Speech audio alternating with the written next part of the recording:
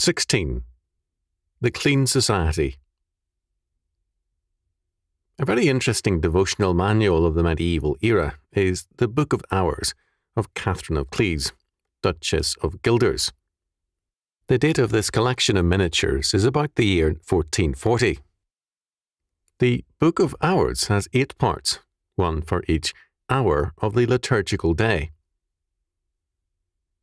Our concern being work, our approach to the Book of Hours will be in terms of this interest.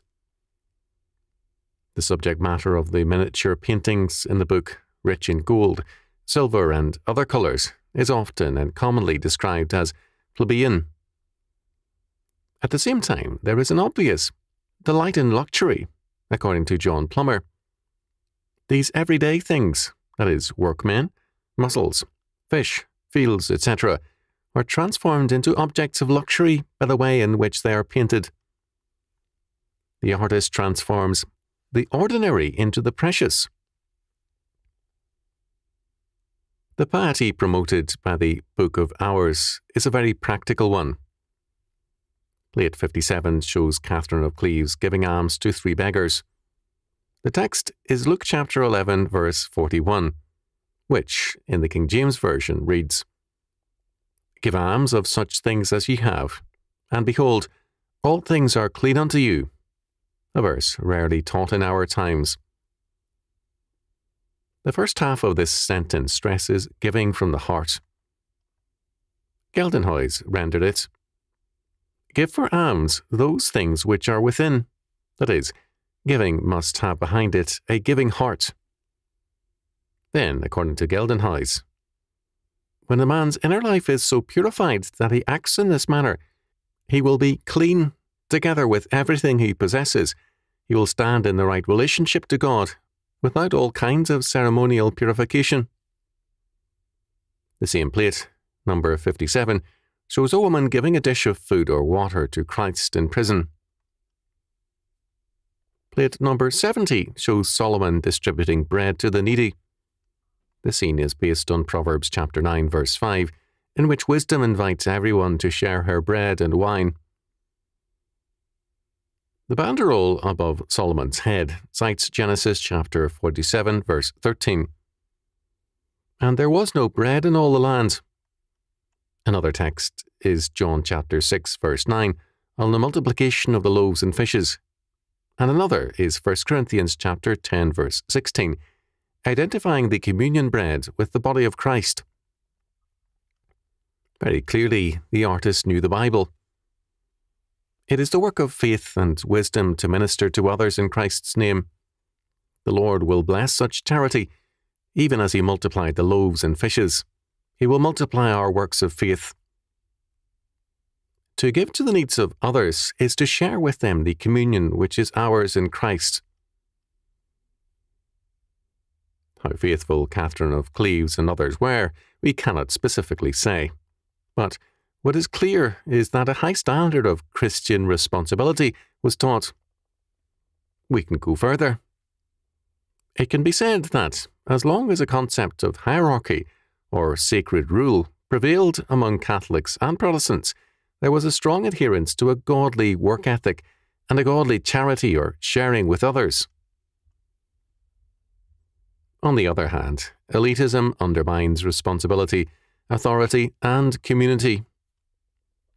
With elitism, charity ceases and welfarism begins. One consequence is a gap between classes and a decline in community.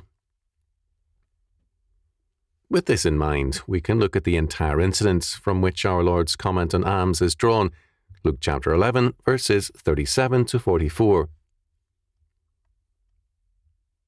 And, as he spake, a certain Pharisee besought him to dine with him, and he went in and sat down at meat. And when the Pharisee saw it, he marvelled that he had not first washed before dinner.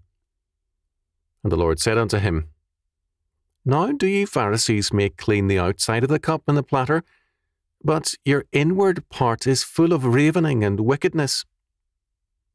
Ye fools, did not he that made that which is without make that which is within also.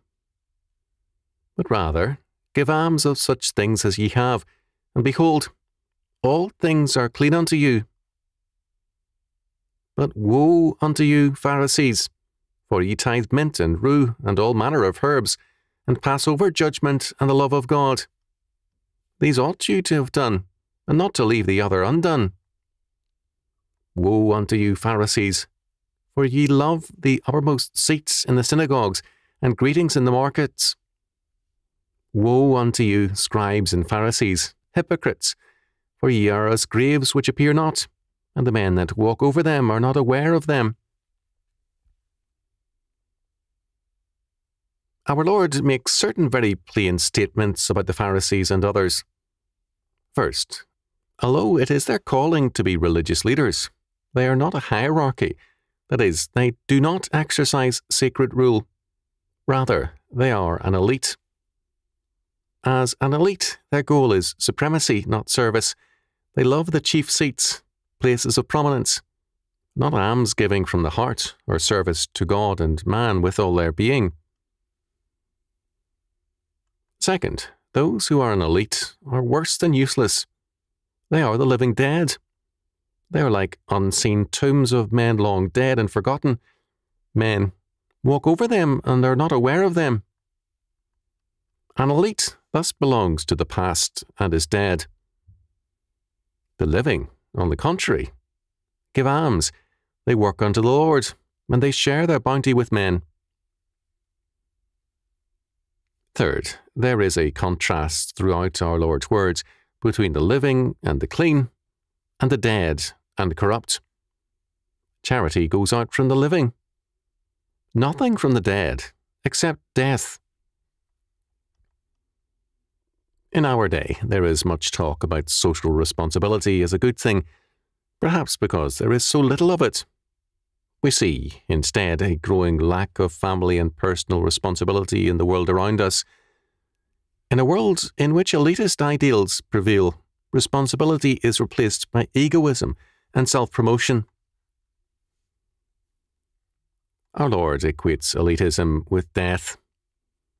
Let us consider the implications of elitism Proverbs chapter 8, verse 36 declares that those who sin against God do violence to their own soul, and, in hating God, love death. The culture of death is hostile to responsibility and to work. It prefers instead theft and debt.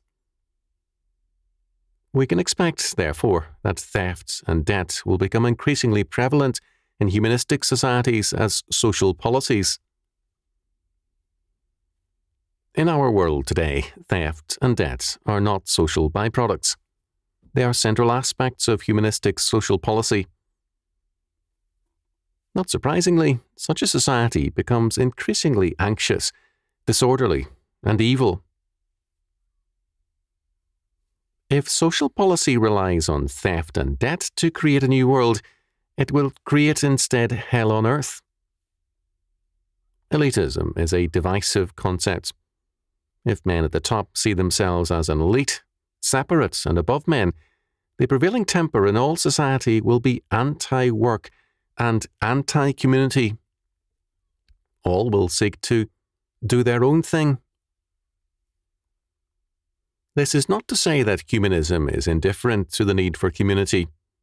On the contrary, studies of the concept have been common for more than two centuries. The humanistic version of community is usually coercive, that is, imposed from above by the state. Such a perspective is the antithesis of community. Statism is not community. Moreover, coercion by the states is hostile to the growth of the community because it replaces work and charity with theft and debt, and theft and debt are divisive and destructive to society.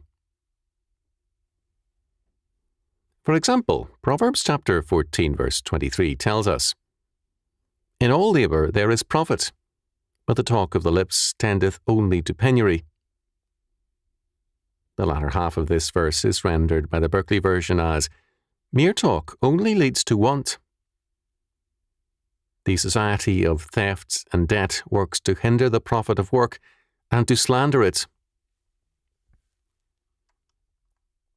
Proverbs chapter 13, verse 11 says, Wealth gotten by vanity shall be diminished, but he that gathereth by labour shall increase.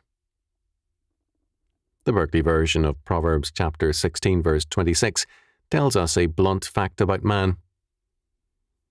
A worker's appetite works for him, for his mouth urges him on. The elitist denies the realities of God's world and thus creates a welfare state. He uses theft and debt to try to counteract the unhappy fact of need and only aggravates the problem. The difference between the two perspectives, hierarchical and elitist, can be seen in the current views of architecture. It was once held that architecture was an expression of the life and faith of a people.